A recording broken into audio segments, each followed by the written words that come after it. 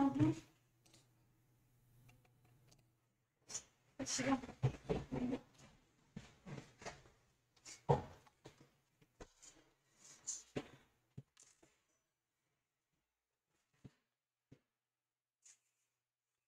morning, dear students. So today we are going to discuss physiology of digestion. And uh, our today's topic lecture uh, our today's lecture topic is digestion in the oral cavity and digestion in the stomach. So the human and other animals must obtain their basic organic molecules from food unlike plants which can form organic molecules using inorganic compounds.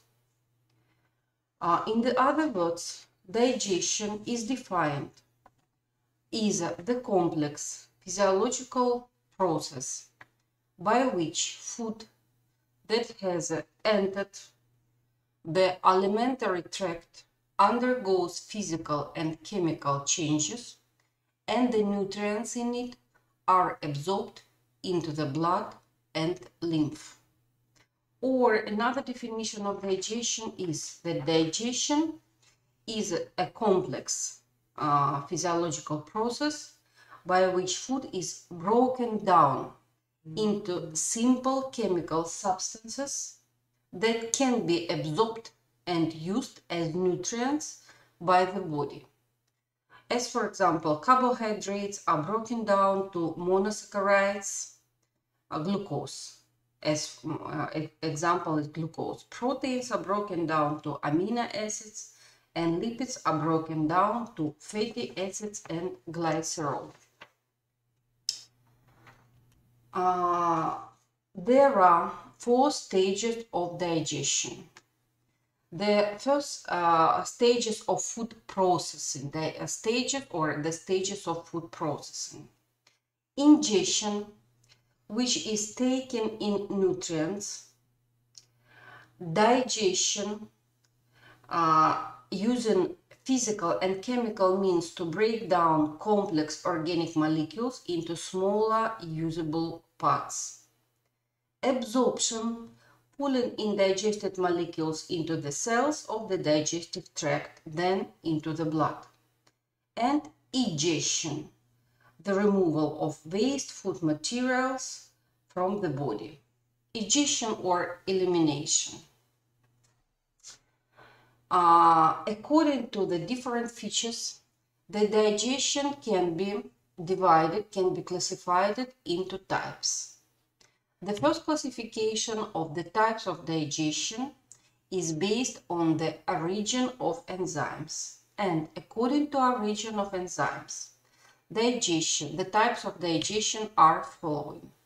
Autolytic digestion, when food contains enzymes for digestion itself. Second type is so-called own digestion or proper digestion when enzymes for digestion are produced by the organism. And the last one is so-called symbiotic digestion, when microorganisms of the large intestine take part in digestion. The other um, classification of the types of digestion is based on the localization of the process. So according to localization, there are two types of digestion. Intracellular digestion, which includes phagocytosis, pino and endocytosis, and extracellular digestion, which also can be subdivided into distant digestion or cavital digestion. Cavital means in the cavities. Uh, the breakdown of food in cavity of intestine without direct contact with intestinal mucosa, far from place enzymes produced. It allows larger particles to be broken down into smaller particles and done by enzymes from pancreatic or intestinal juice. Uh, and second type is contact digestion or membrane digestion, breakdown of nutrients on in intestinal surface by enzymes bound to the enterocyte structures. Allows smaller particles to be broken down into simple monomers by enzymes lining the intestinal microvilli. Anatomically and functionally, the digestive system can be divided into a tubular uh, part or a gastrointestinal tract or alimentary canal, so-called, and accessory organs and associated glands.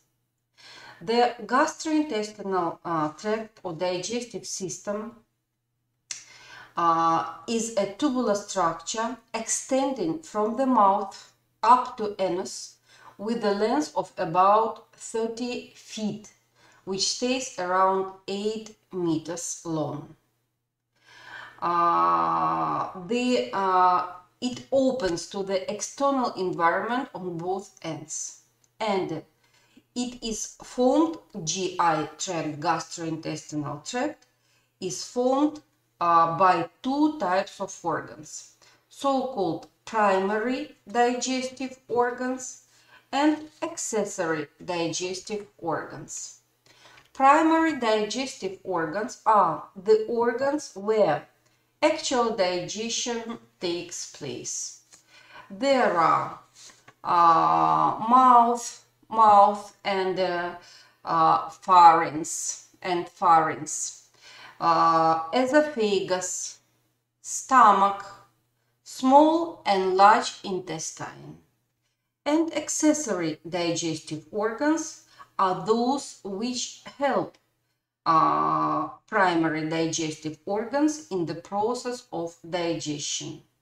There are teeth, tongue and salivary glands in the oral cavity, exocrine part of pancreas, uh, which secretes pancreatic juice, liver and gallbladder, which also help in intestinal digestion. As we know, the oral cavity, teeth and tongue uh, take part in mechanical processing, moistening, mixing uh, food with uh, saliva. Uh, salivary glands will assist and salivary glands secrete the lubricating fluid um, containing enzymes that break down carbo carbohydrates primarily.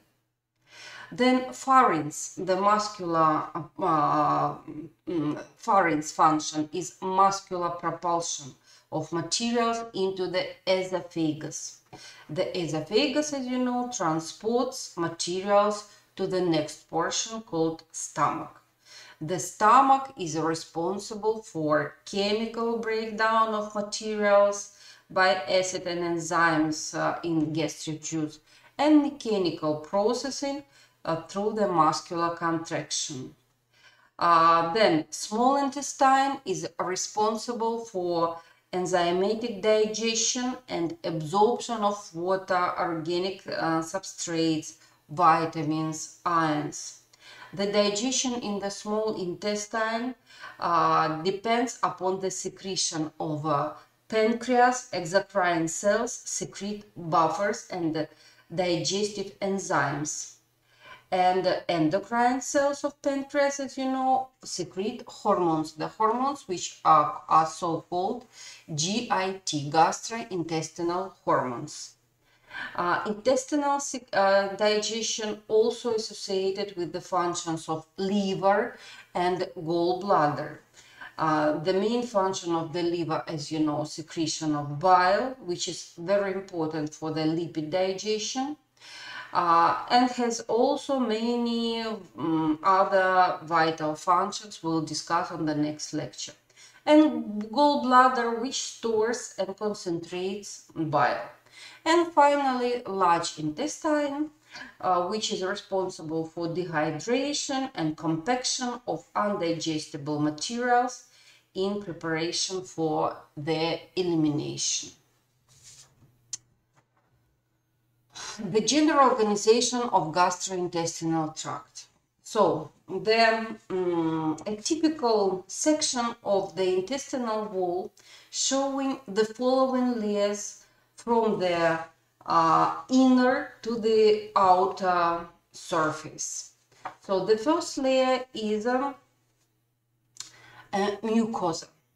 The mucosa uh, consists of the epithelium, which usually simple columnar with goblets, lamina propria, uh, connective tissue deep to epithelium, and muscularis mucosa, which produces folds uh, in the small intestine or rugae in the stomach. Uh, the next layer is submucosa. The submucosa is made up of loose connective tissue and contains submucosal plexus and blood vessel. The submucosal plexus, also called Meissner's plexus. Uh, uh, muscularis externa consists of smooth muscles, usually two layers, controlled by the so-called Auerbach's or myenteric plexus. There are outer longitudinal muscle layer and inner layer of circular muscle. And uh, the last one, serosa layer of mesentery or adventitia, uh, depending on location. Uh, in addition, a sparse layer of smooth muscle fibers, the muscularis mucosa, as I said already, lies in the deep layers of the mucosa. Uh, the individual smooth muscle fibers in the gastrointestinal tract uh, are arranged in bundles of as many as 1000 parallel fibers, parallel fibers. In the longitudinal muscles, longitudinal muscles, muscle layer, these bundles extend longitudinally down the intestinal tract. In the circular muscle layer, they, uh, they extend around the gut uh, within each bundle of muscle fibers are electrically connected with each other through large numbers of gap junctions. Therefore, electrical signals can travel from one to the next fiber. Same time, the bundles fuse with each other at many points. Therefore, each muscle layer functions as a syncytium. When an AP is elicited anywhere within the muscle mass, it travels in all directions in the muscle. Although a few connections exist between the longitudinal and circular muscle layers. Uh, so uh, that excitation of one of these layers usually excites the other as well. The smooth muscle of the GIT undergoes almost continual slow electrical activity. This activity tends to have two basic types of electrical waves, so-called slow waves slow waves and spikes. Uh, these terms are well known to you from the physiology of excitable tissues. The smooth muscle of the gastrointestinal tract has spontaneous rhythmical fluctuations in membrane potential between about negative 65 and negative 45 millivolts. This is called basic electrical rhythm. Abbreviature is BER. Uh, is, it is initiated by the interstitial cells of Cajal. Stellate mesangial pacemaker cells, with smooth muscle-like features that send long multiply branched processes into the intestinal smooth muscle. The uh, basic electrical rhythm itself rarely causes muscle contraction. However, they do control the appearance uh, of intermittent spike potentials, spike potentials, and the spike potentials in turn actually cause the muscle contraction. The intensity of slow waves varies between 5 and 15 millivolts and their frequency ranges in different parts of the uh, gastrointestinal tract between 3 and 12 per minute. About 3 in the body of the stomach, as much as 12 in the duodenum, and about 8 or 9 waves in the terminal ileum. Therefore, the rhythm of contraction of the body of the stomach usually is about 3 per minute, of the duodenum about 12 per minute, and the ileum 8 to uh, 9 per minute. In the colon, basic electrical rhythm rate rises from about 9 per minute. At, uh, at the cecum, to about 16 uh, uh, to about uh, 16. The spike potentials are true action potentials. They occur uh, automatically when the resting membrane potential of the gastrointestinal tract smooth muscle becomes more positive than about negative 40 millivolts. The normal resting membrane potential is about is in between 50 to 60 uh, millivolts. The spike potentials appear on the peaks on the peaks of slow wave potential uh, and the higher the slow wave potential rises above this level, the greater the frequency, the greater the frequency of the spike potentials, ranging between 1 to 10 spikes per second. The depolarizing portion of each spike is due to calcium ions influx and the repolarizing portion is due to potassium ions efflux. Many factors affect the um, BER or basic electrical rhythm. Uh, these factors are stretching of the muscle, uh, stimulation by acetylcholine, stimulation by the parasympathetic nerves that secrete acetylcholine, stimulation by gastrointestinal hormones. Uh, factors that make the membrane potential more negative or that hyperpolarize membrane will cause hyperpolarization of membrane are uh, epinephrine and uh, norepinephrine secreted by postganglionic sympathetic fibers and uh, hormones of adrenal medulla, epinephrine and norepinephrine. The functions of basic electrical rhythm is to coordinate uh, peristaltic and other motor activity. Uh, contraction occurs during the depolarizing part of the wave, depolarizing part of the wave, after vagotomy or transection of the stomach wall, peristalsis in the stomach becomes irregular and chaotic. Functions of gastrointestinal tract.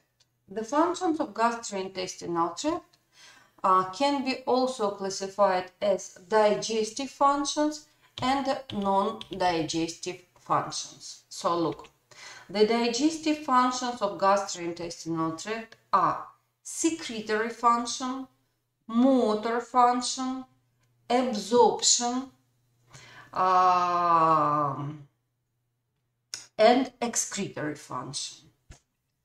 All these following function as a defensive function, homeostatic function, uh, and regulatory function, regulatory or endocrine function are so-called non-digestive functions, but which are also very important for the normal process of digestion uh, in the GIT.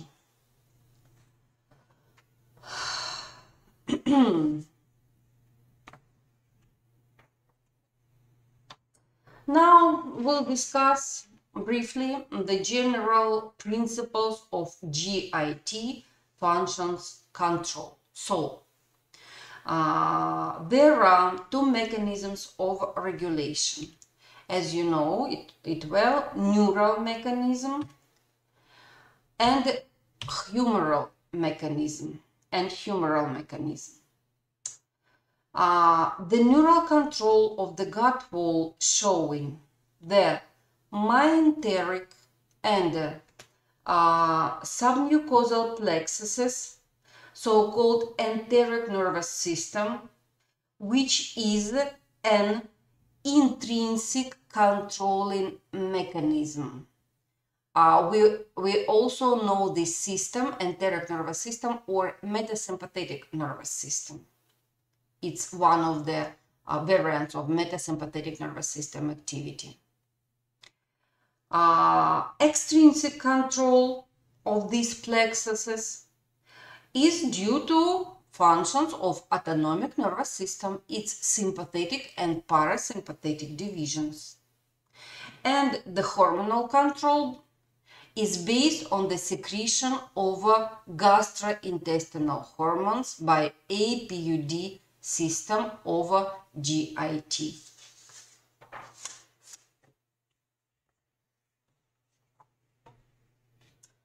As you know, the local and uh, the local neural control based on intrinsic nerve plexuses of metasympathetic nervous system.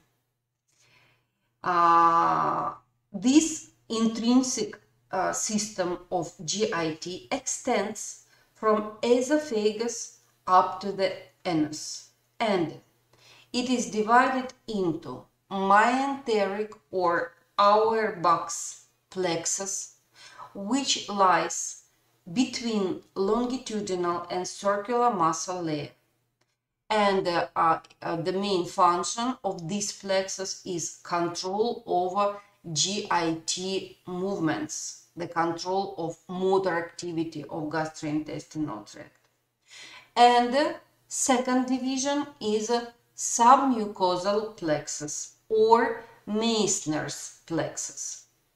It lies in submucosa and its function control GIT secretion and local blood flow. Subfunctions, it serves sensory functions by receiving signals, receiving signals from GIT epithelium and from stretch receptors of GIT wall. So, um, collectively, these neurons constitute so-called enteric nervous system, as I said already, which contains about 100 million sensory, inter and motor neurons. It is connected to the CNS by the uh, uh, parasympathetic and sympathetic fibers by parasympathetic and sympathetic fibers, uh, but can function autonomously without these connections. The myenteric plexus innervates the longitudinal and circular smooth muscle layers, as I said already, and which is concerned primarily with motor control, whereas the submucous plexus innervates the glandular epithelium, intestinal endocrine cells, and submucosal blood vessels, and is primarily involved in the control of intestinal secretion. The neurotransmitters of um, uh, enteric nervous system include acetylcholine, norepinephrine, serotonin, GABA, ATP, nitric oxide, and other peptides and um, polypeptides. The autonomic nervous system controls uh, the activity of enteric nervous system by sympathetic and parasympathetic fibers. The parasympathetic nervous system's activity. Depends. Um, uh, depends upon the vagus nerve that innervates GIT from esophagus up to proximal two-thirds of transverse colon. Uh, also pelvic parasympathetic nerve S2 to S4 innervates GIT from uh, distal one-third of transverse colon. Its function to increase peristalsis and tone relaxes sphincters and to increase digestive secretion. Sympathetic nervous system. Preganglionic fibers, the red color as you see, the blue color parasympathetic, the red color sympathetic. Uh, preganglionic sympathetic uh, fibers originate in T5 to L2 segments of spinal cord pass through sympathetic chain, synapse with postganglionic neurons in celiac uh, and mesenteric and hypogastric ganglia, uh, and postganglionic fibers innervate uh, GIT gastrointestinal tract. Its functions to decrease peristalsis and tone, contract sphincters and decrease digestive secretion. Uh, so the here on that slide you may see um, that uh, GIT receives a dual extrinsic innervation from the autonomic nervous system with parasympathetic cholinergic activity, generally increasing the activity of GIT and increases secretion of GIT and sympathetic noradrenergic activity, generally decreasing it while causing sphincters to contract. Uh, and the last one is uh, the um, hormonal regulation of GIT, another one mechanism. The paracrine effect of chemical messengers and gastrointestinal hormones is the basis of this uh, mechanism of uh, regulation called humoral regulation. The hormones and humoral agents secreted by cells in the mucosa and transported in the circulation to influence the functions of the stomach, the intestine, the pancreas, and the gallbladder. They also act in a paracrine fashion. So, as you see, there are two mechanisms of uh, GIT functions control. These mechanisms are neural mechanism and humoral mechanism, which can perform their functions at two levels, local and central levels. Now uh, we are going to discuss the um, functions of the oral cavity. As you know, in the mouth, food is mixed with saliva and then propelled into esophagus. And there are two basic processes that take place in the oral cavity. First process called mechanical process, mastication or chewing uh, breaks up large food particles, mixes uh, the food with the secretion of the salivary glands, and rolls it into a moist, soft mass called uh, bolus, suitable for swallowing.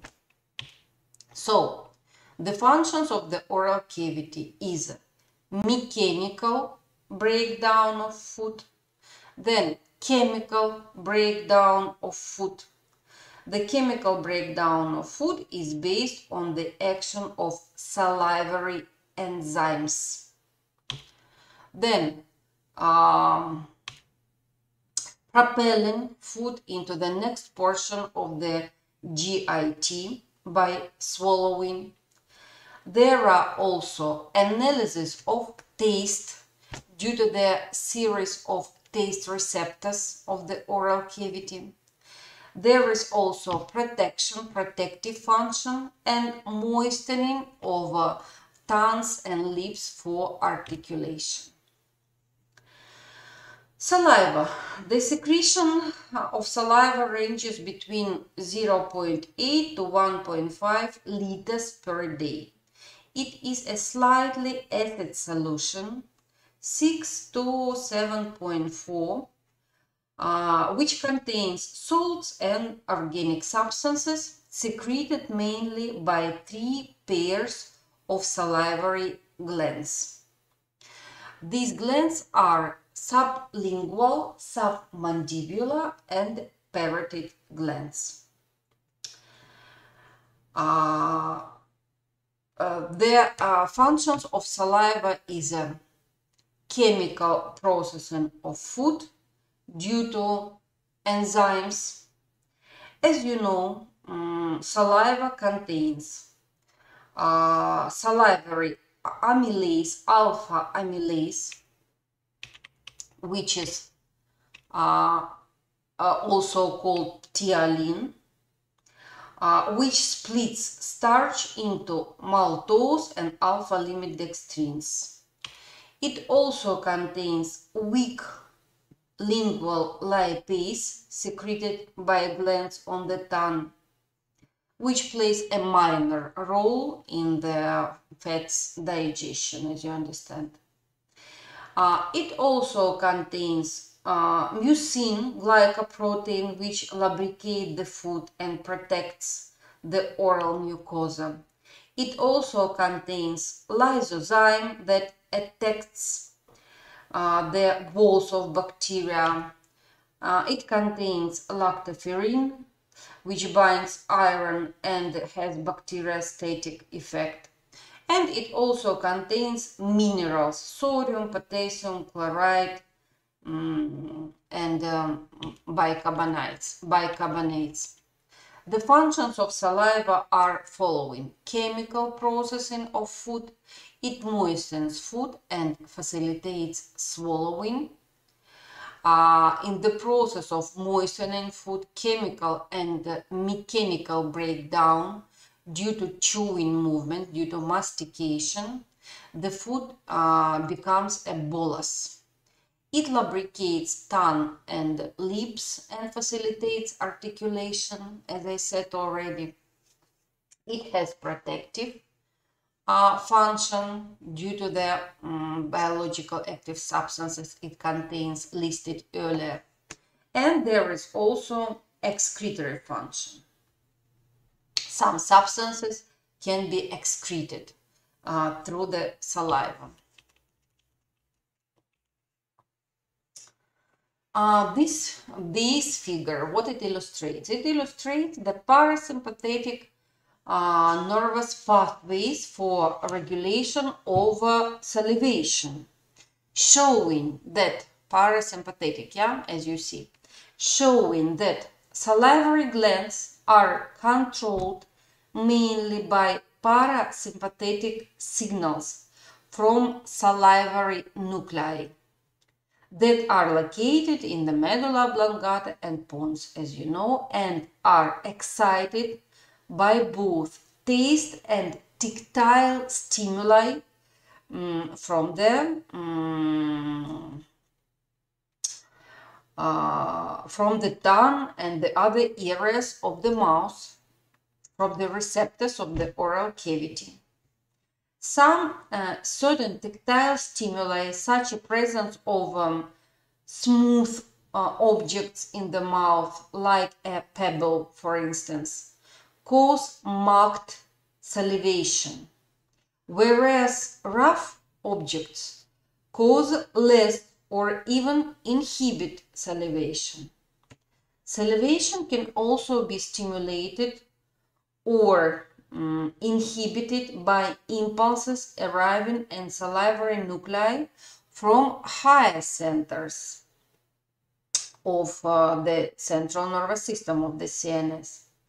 When the person um, eats or smells favorite food, salivation is greater than when disliked food is smelled or eaten. It is clear. The appetite area of the brain, which is located in the anterior hypothalamus, um, taste and smell areas of cerebral cortex and amygdala also regulate these effects. Sympathetic stimulation can also increase secretion of saliva, but much less uh, than parasympathetic.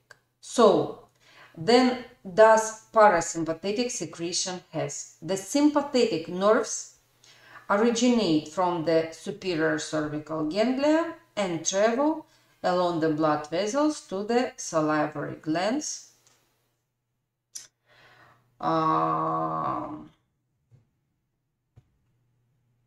and it also, uh, sympathetic nervous system, also uh, affects secretion, uh, not only secretion, but also blood supply of the glands.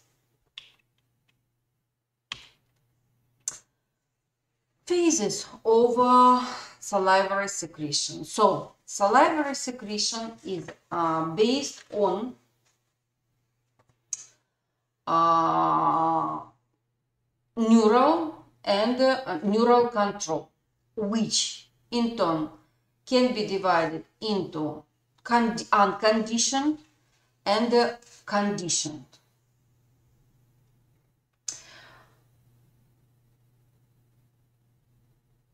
Unconditioned and conditioned. The unconditioned secretion of saliva takes place when food is taken into the mouth, which in turn stimulates receptors in the oral cavity, chemo and mechanoreceptors. The food stimulates nerve endings, as I said, receptors in the mouth, and a stream of ingoing nerve impulses will travel along taste nerve to salivary nuclei in the medulla oblongata and pons. The result of this is that outgoing nerve impulses of secretomotor nerves from the autonomic nervous system to gland evoke secretion of saliva. Another mechanism of salivation based on conditioned reflex. Uh, for example, sight of food, smell of food, even thought of food and sounds of its preparation uh, become associated with the taste of food. And a result of this that ingoing nerve impulses from, for example, uh, visual receptors or uh, olfactory receptors, yeah, will travel to the corresponding areas in the CNS, in the brain cortex, for example, to the visual center. Uh, the same time, simultaneously, ingoing nerve impulses will travel to the salivary center from the uh, taste uh, receptors of the mouth. And the result of this is association pathways which become established between two centers in the brain. One center which is responsible for conditioned secretion of saliva, for example, visual center, and the unconditioned center of salivation. Uh, the parasympathetic nerves, nerve releases acetylcholine, which greatly uh, increases uh, salivary secretion, and it also uh, releases vasoactive intestinal polypeptide VIP, uh, which dilates the salivary gland, gland blood vessels, and by that way it increases salivation.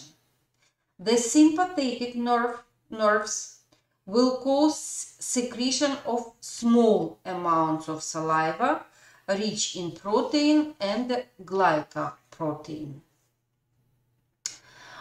And also for addition that the parotid glands secrete the serous type watery saliva. The submandibular and sublingual glands secrete both the serous type and mucus. The buccal glands secrete only mucus saliva. Mastication, as I said already, or chewing uh, is uh, when the food is broken down, mixes uh, with the saliva and rolling food into a moist, soft mass which is called bolus. Most of the muscles of chewing are innervated by the motor branch of the CN5 trigeminal nerve and the chewing process is controlled by nuclei in the brain stem. Chewing of food is important for digestion of all types of food and it aids in the digestion of food uh, for the following reasons. The digestive enzymes act only on the surface of food particles, so it increases uh, the surface area for contact with digestive enzymes. And it also grinding the food to a very fine particles. Swallowing. The swallowing is uh, the complex act which is initiated voluntarily and completed involuntarily. Uh, this process is staged process and it can be subdivided into three stages. The first stage of swallowing called oral stage, oral stage. It is voluntarily and it initiates the swallowing process. Second stage of swallowing uh, called pharyngeal stage. This uh, stage is involuntary and it constitutes uh, the passage of food through the pharynx into the esophagus. And the last one, third stage of uh, swallowing or deglutition called esophageal stage, which is a slow, uh, involuntary. It promotes passage of food from the pharynx to the stomach. The reflex response is triggered by afferent impulses in the trigeminal nerve, glossopharyngeal nerve, and vagus nerve. Uh, these impulses are, are integrated in the nucleus tractus solitarius and nucleus retroambiguus in the medulla oblongata, and the efferent fibers from the um, pharyngeal uh, to the will pass to the pharyngeal musculature and the tongue via CN5, 10, 11 and 12 and it will promote uh, deglutition or swallowing. Now we should uh, discuss briefly uh, the digestion in the stomach which follows digestion in the oral cavity. So, the peristalsis uh, of the esophagus pushes swallowed food from one end of the esophagus to the other um, circular and long, due to the circular and longitudinal muscle contraction towards the lower esophageal or gastroesophageal sphincter. The lower esophageal sphincter remains closed until food is pushed through it by peristalsis into the stomach. By the way, the lower esophageal sphincter is not a true sphincter muscle that can be identified histologically. The stomach the stomach is a J-shaped bulge uh, or pouch. Structurally, stomach can be divided into the cardiac region or cardia, fundus, greater and lesser curvature, body of stomach that comprises two-thirds of the stomach, and pyloric region or antrum, the distal portion of the stomach. The outer surface, uh, sorry, the outer wall of the stomach consists of three smooth muscle coats, three smooth muscle layers, as you may see. Longitudinal, circular, and oblique muscles. The inner surface of the stomach is thrown into a series of folds known as rugae, rugae uh, which increase the surface area of gastric mucosa and very important for the digestion in the stomach. The opening of these folds into the stomach lumen called gastric pits. The mucosal cells lining them are called exocrine gastric glands. Exocrine gastric glands. Uh, the, these are several, there are several types of cells in the gastric glands that uh, collectively secrete so uh, um, secretion commonly called gastric juice uh, 2 to 3 liters per day goblet cells or mucus cells secrete mucus that protects mucosa that protects mucosa uh, from acid and from pepsin also. The parietal cells or oxyntic cells, oxyntic cells, parietal cells between mucous cells and a chief cells uh, secrete hydrochloric acid and intrinsic factor. Hydrochloric acid kills bacteria the intrinsic factor binds with vitamin B12 and allows absorption in ileum. Uh, vitamin B12 is required for maturation of red blood cells in the bone marrow. A patient with gastrectomy has to receive B12 orally together with intrinsic factor or through injections to prevent the development of pernicious anemia. Chief cells. The chief cells, uh, which contain zymogen granules and secrete pepsinogen, which is an inactive form of the protein digestive enzyme pepsin activated by hydrochloric acid. When it is activated, it becomes pepsin. And it starts chemical breakdown of protein to small peptides. Uh, the chief cells also secrete gastric lipase, which digest emulsificated fats and as well as a lingual lipase plays a minor role in fats digestion.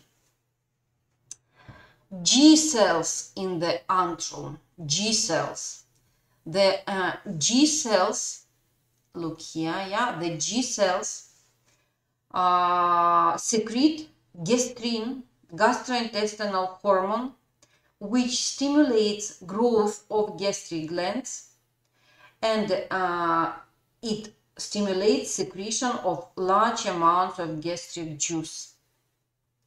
There are also other um, endocrine cells, as for example, uh, histamine secreting cells which act as paracrine cells controlling acid secretion in adjacent parietal cells. The surface epithelium cells, surface epithelium cells secrete bicarbonates into a covering uh, and resistant layer containing mucus and making it alkaline. As a result, the epithelial surface remains close to neutral.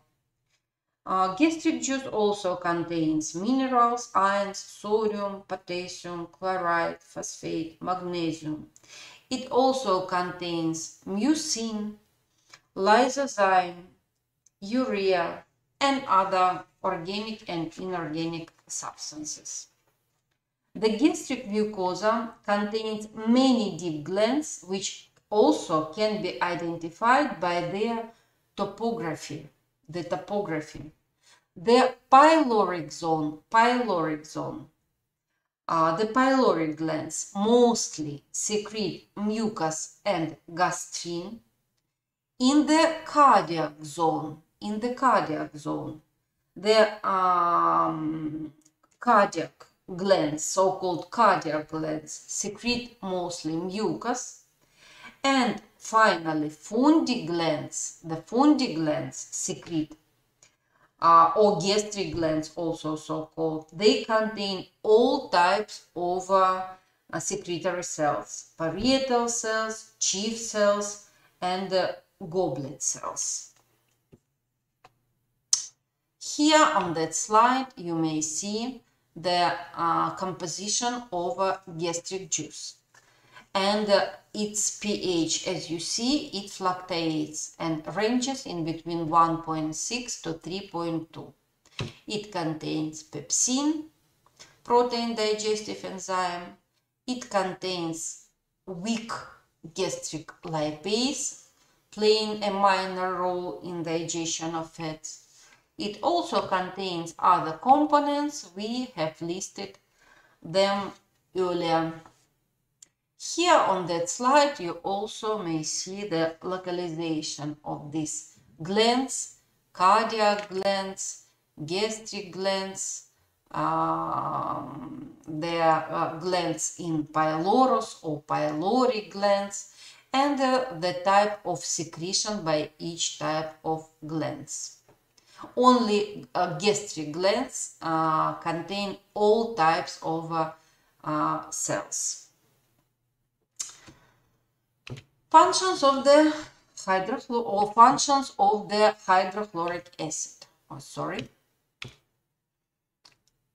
pepsinogen activation. It activates pepsin, uh, pepsinogen, uh, which then becomes active pepsin. Then it maintains an optimal pH. Uh, it denaturates proteins, takes part in swelling of proteins. It also has bacteriostatic effect. It regulates the gastric emptying and stimulates uh, production of gastrin by G cells and activates duodenal enterokinase. Functions of the stomach.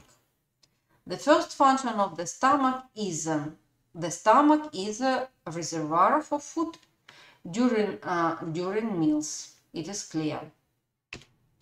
Next function is secretory function. It is based on the secretion of gastric juice, composition of which we discussed earlier.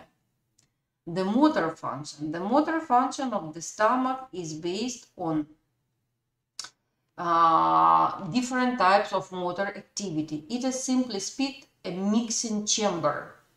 This mixing chamber which uh, churns food into semi-fluid chyme, it is called chyme, and then delivers it into the next portion of gastrointestinal tract called duodenum. Next function, absorption. Absorption of water, alcohol, some drugs takes place in the stomach. There is also defensive function, defensive function, we discussed it already earlier. Regulatory function, regulatory or incretory function, uh, secretion of gastrointestinal hormones. Hemopoietic function, which is related to secretion of intrinsic factor or Castle factor. And excretory function, urea, uric acid, creatinine, leads and some drugs also are excreted. And the, the generally uh, homeostatic function. Homeostatic function, it plays a very important role in the regulation of pH uh, through the transportation of hydrogen and bicarbonates. Phases of gastric secretion. So,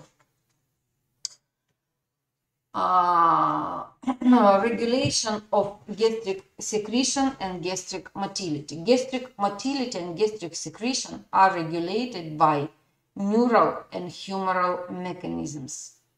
The neural components are uh, local, sorry, autonomic reflexes involving cholinergic neurons and impulses from the CNS by way of the vagus nerves.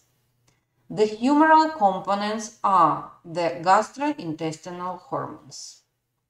Phases of gastric secretion are subdivided into following phases. The first phase called cephalic phase. The cephalic phase as well as a um, cephalic phase of salivation are divided into conditioned and unconditioned. The presence of food in the stomach, in, oh sorry, the presence of food in the mouth reflexly stimulate, stimulates gastric secretion. The efferent fibers uh, for this reflex are in the vagus nerves. Vagally mediated increases in gastric secretion are easily conditioned.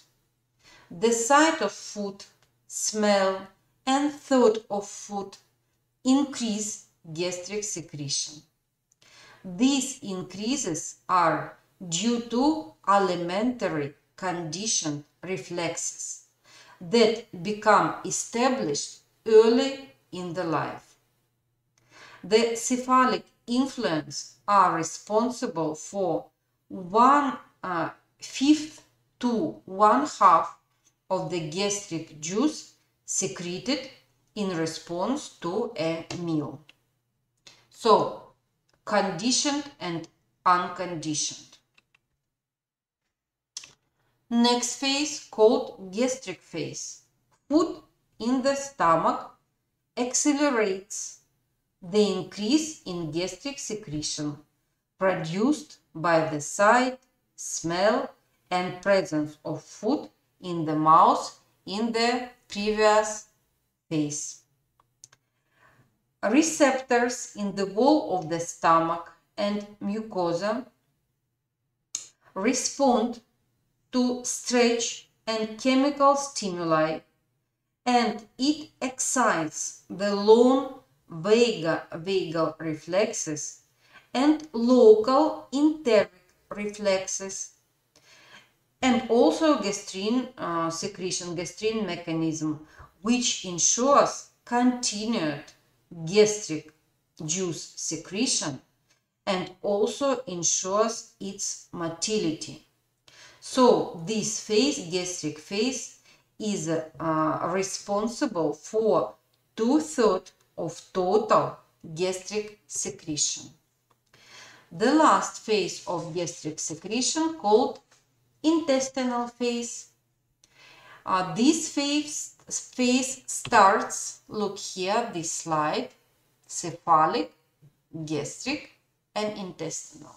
It starts when chyme, which is semi-fluid food, following digestion in the stomach, distends the duodenum, both vagus and um, intrinsic nerve plexus, uh, duodenal mucosa, which secretes secretin, CCK, GIP, entering the bloodstream, inhibits gastrin release and secretion of the acid gastric juice and also inhibits uh, gastric motility.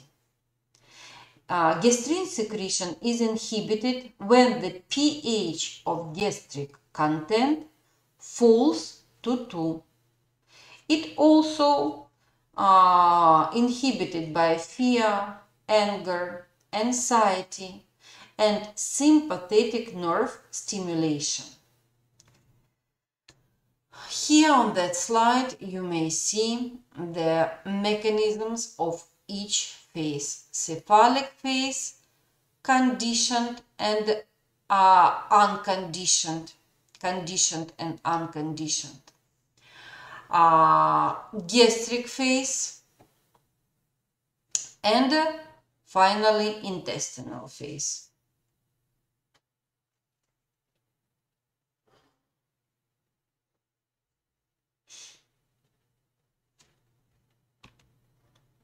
Types of um, mm, uh, gastric motility. So, the motor functions of the stomach are following. First function is um, a storage of large quantities of food because as we said the first function of the stomach is so-called reservoir function and mixing of food with gastric juice until it forms semi-fluid mixture called chyme. And also slow emptying of food from the stomach into the small intestine. The types of stomach's motility. Uh, an intense contraction are seen in the empty stomach, in the empty stomach, when it is empty for a long time. These are rhythmic peristaltic contractions in the body of the stomach. When it occurs in the stomach, the person feels a sensation of pain. They begin 12 to 24 hours after the last meal and reach greatest intensity in three to four days of starvation. Hunger contraction are often associated with a feeling of hunger. When they become extremely strong, they fuse together to cause a uh, continuing tetanic contraction lasting uh, for 2 to 3 minutes.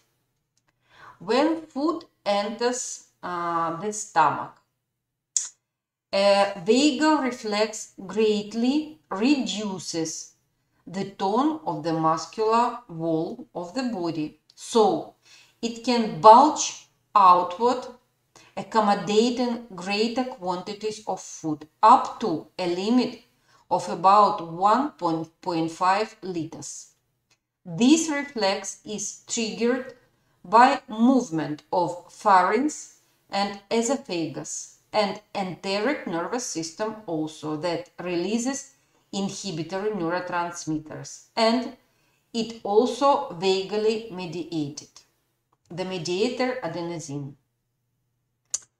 Peristalsis occurs while food in, is in the stomach. Peristalsis originates from the pacemaker zone on the greater curvature of the stomach.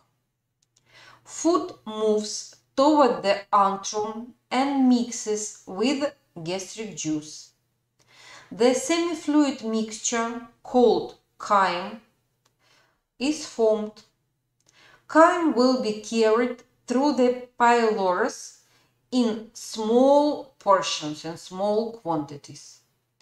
The sphincter then contracts, forcing chyme back by retropulsions and mixes the food with gastric juice again.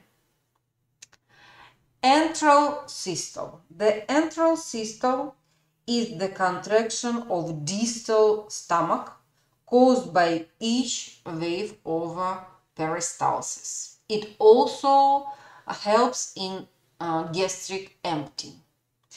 Antiperistalsis, as you know, can be seen in a complex reflex act coordinated by medulla oblongata and called uh, vomiting. And uh, the final uh, stage is a gastric empty. Gastric empty.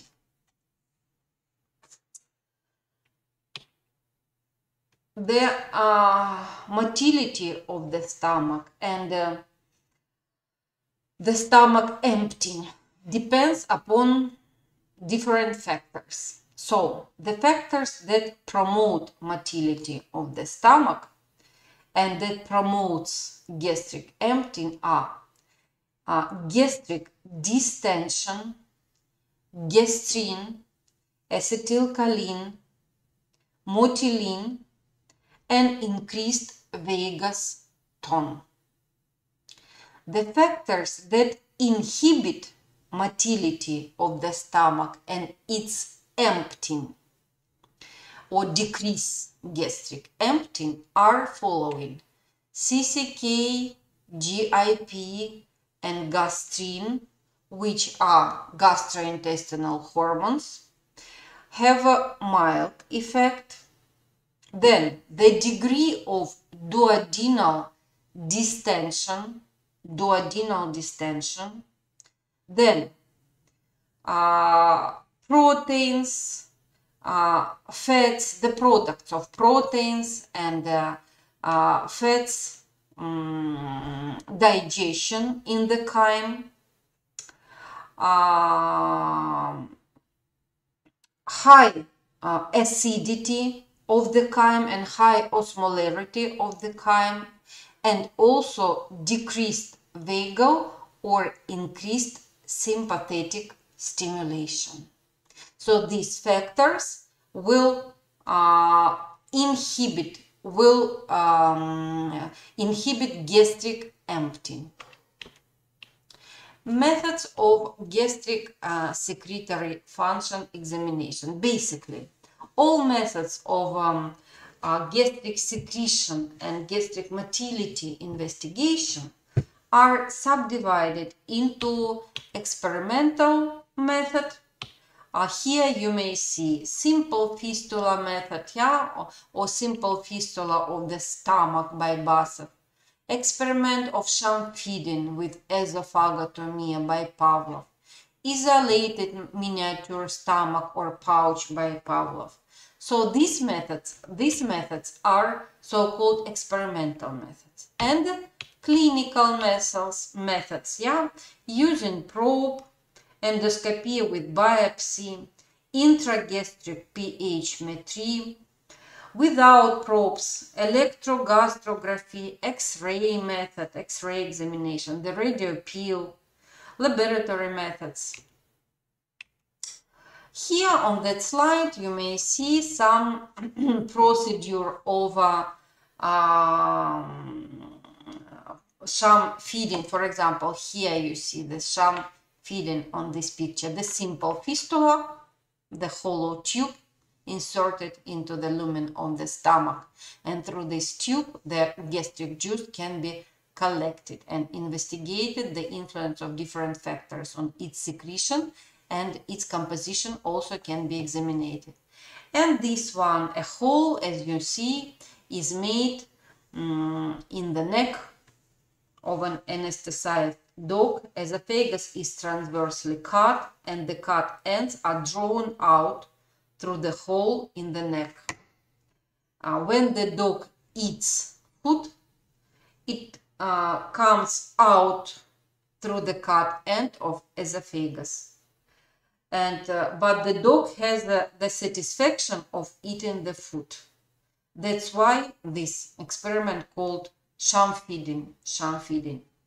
This experimental procedure is supported by the preparation of Pavlov's uh, of Pavlov pouch, which with a fistula from the stomach.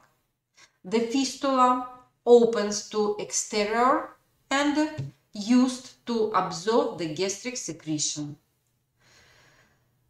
Sham feeding is useful to demonstrate the secretion of gastric juice during cephalic phase.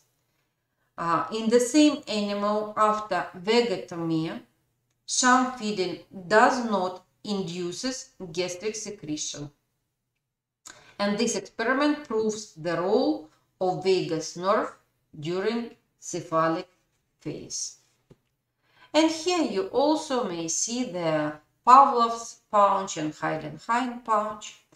Methods of gastric motor functions examination are electrogastrography, the recording of the electrical activity, and uh, gastrography. So, today on the lecture we have discussed uh, the uh, general principles of GIT uh, regulation.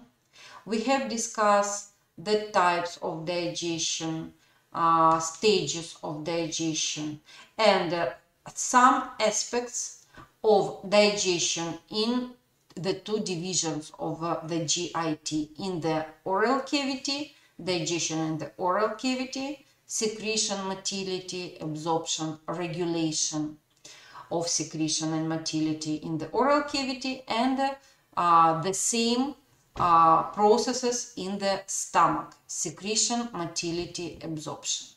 So on the next lecture, we are going to discuss the next uh, portions of gastrointestinal tract and basic principles of their organization and their function. So thank you for your attention. See you on the next lecture. Goodbye.